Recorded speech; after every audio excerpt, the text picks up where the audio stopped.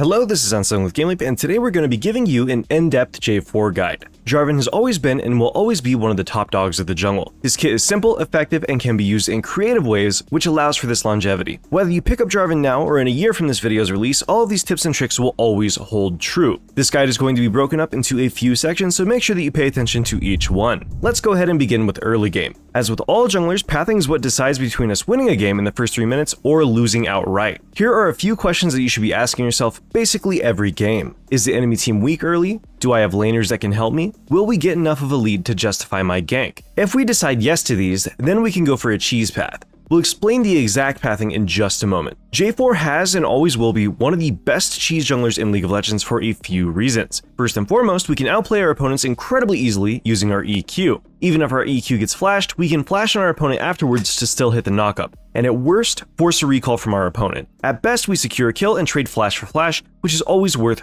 on a jungler. Second, J4 is not exceptionally level reliant. He's useful with any amount of gold or levels. This makes spam ganking a viable option even in the most farm heavy metas. And lastly, J4 is utility king. There is no other champion that can lock down an opponent for as long and as safely as J4 while also providing so many free stats for his team. In a perfect world, we can EQ, ulti, and then Q our E again to remove somebody from a fight for upwards of 5 seconds at a time. This combo when combined with Goredrinker, Sterak's, Zhonya's, or Gargoyle is pretty much guaranteed to go off, leading to vastly one-sided fights. If we're able to buy time for our team, our total score does not matter because we are at minimum taking one person with us. J4's E when placed also provides a massive amount of attack speed for our team, meaning us just being around is an advantage regardless of if we lock somebody. Jungle pathing is difficult. To clear things up, head over to GameLeap.com by clicking on the description box below to access our library of professional guides from coaches such as myself. See you on the site. Now that we talked about what makes J4 so strong and some early game decisions, let's get into the nitty gritty of pathing. The jungle gets reworked every other season,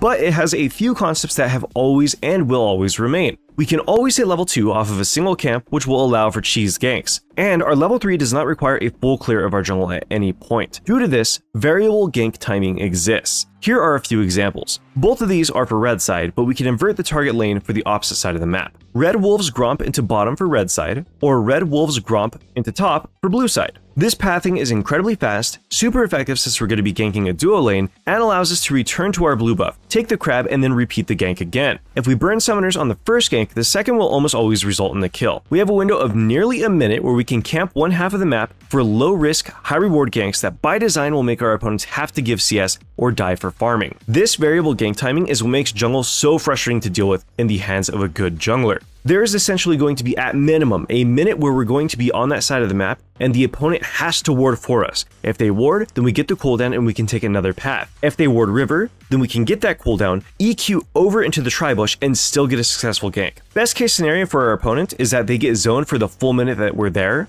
Worst case scenario is we end up blowing their summoners, come back, get another kill on them, crash a wave, and then repeat the gank again to ensure a win in that 3 minute period. Blue Gromp Wolves to top lane is the inverse of this clear, and it has the same timing with the same exact benefits. Regardless of the exact pathing, these gank timings will always exist even in any future rework jungle, making them permanently solid options. After our initial clear, we want to try and rush for level 6 as soon as possible, mostly looking for ganks when our camps are on cooldown. J4 is more of an opportunistic jungler compared to most other junglers, this means that even if all of our camps are not on cooldown, we could still fish for and force a gank out. Since J4 has such a large amount of early game damage and a decent amount of crowd control, there's basically no champion that is safe. If for whatever reason we're unable to execute on this, then we want to full clear. Full clears are usually reserved for when we have a scaling team with no prio. Jarvan slots well into these comps due to his disabler nature, even if we're unable to impact the map, we could still buy our team time late game. This does mean that power farming on J4 is a viable option, just not the most optimal. Let's go ahead and go over some professional examples of just how oppressive this champion can be. To begin the clip, J4 is farming his blue buff. This is going to be a standard gank.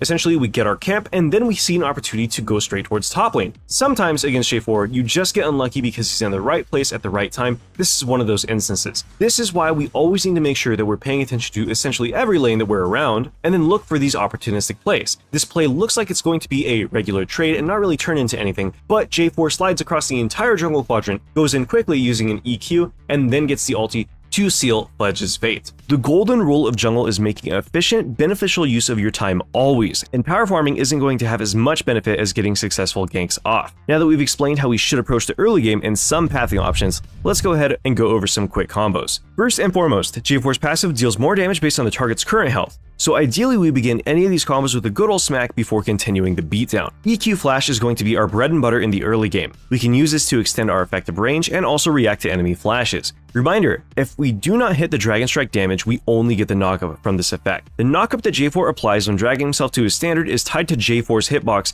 not to his Q, meaning that this does literally zero damage unless the enemy was on our Q at the time of cast. This combo is one of the more difficult things for us to do on J4 as it requires strict timing. I would recommend sitting in practice tool and feeling it out. Since the hitbox for our knockup begins on J4, it has a larger or smaller radius depending on our enemy's body type as well. A chunker like Sion is easier to knock up, whereas a thin and weak gamer Vladimir is substantially harder to hit due to his lithe frame. Next up we have the R into EQ combo. This is best used to lock down no mobility control mages or AD carries. If we flash R and then knock them up with an EQ combo as we exit our own Cataclysm, our opponent has minimal time to deal damage and is forced to sit in place for 3.5 seconds. They then become a sitting duck for our team. The extended combo is going to be EQ into R into Q back to our flag afterwards. This is 5 seconds of agony for anybody on the receiving end of it. If you are a champion that has no access to flash, if you do not have a dash or any sort of blink, then you are not going to have a good time. Now that we talked about trading in lane a little bit, let's go ahead and talk about other ganks through flank paths. As you can see here, the normal thing for most junglers to do is simply walk into river. There's a ward very clearly in the pixel bush in the river. Most junglers wouldn't be able to get much out of this. But as J4, we have the luxury of being able to go over terrain quite easily,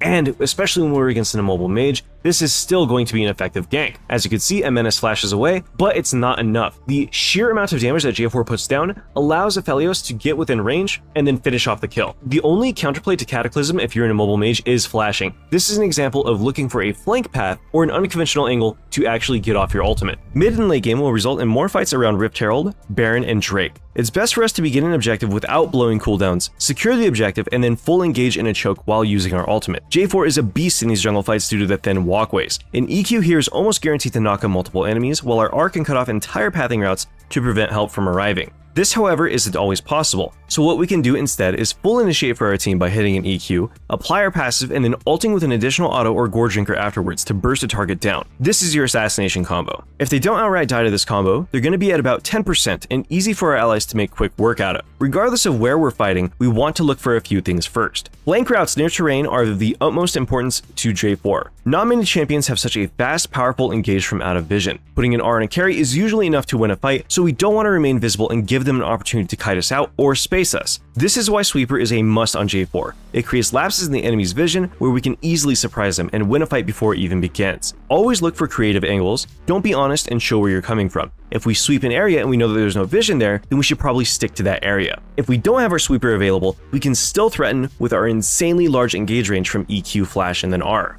Next up, pay attention to enemy spacing. If the ADC or mobile mid is lagging behind, feel free to put them in jail and then leave so that way they're unable to make it to the fight. Instant 4v5 is one of the most impactful things that you could get out of J4's ulti, so looking for this angle should always be on your mind. J4's ultimate is around a minute cooldown, flash is 5 minutes, you get the point. Don't be afraid to flash R and save your EQ to get out of your own Cataclysm when you see an opportunity. Once again, if we trade flash for our ultimate, then we have 4 more ultimates that we can put down on our opponent safely before their flashes back up. Sometimes neither of these will be enough and we'll just have to engage without an advantage. This is where Hourglass, Sterak's, and Gargoyle all come into play. Ideally, we get a rotation off, use an item, get off another rotation, and then pray that our team has won the fight in the meantime. In these cases, we also have a designated target priority, so we're not just trading our life for nothing. First and foremost, we want immobile damage dealers. Next up, we want regular damage dealers with some mobility. Now we want supports afterwards, and then tanks. This is pretty self-explanatory. Champs that can escape J4 jail cannot contribute to a fight and are therefore useless. On the contrary, there is no use in locking down something like Kai'Sa because she can just R out of her ultimate and leave us in the dust. However, if we combo and burst a champion down like this, then we could still get some value from this. CCing a Lulu and locking her out is nice, but if she's still able to stall us while her ADC pops off,